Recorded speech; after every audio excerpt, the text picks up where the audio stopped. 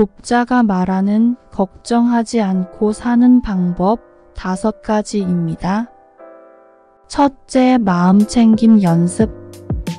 명상, 심호흡 등 마음 챙김 수련을 통해 현재 순간에 대한 인식을 키우고 불안과 걱정을 줄여보세요. 둘째, 현재에 집중. 현재 순간에 집중하고 지금 일어나고 있는 일을 포용하여 미래의 불확실성과 과거의 후회로부터 벗어나세요.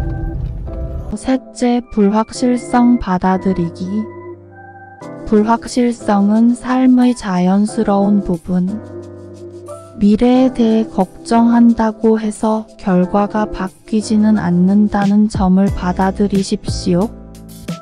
넷째, 긍정적 습관 기르기.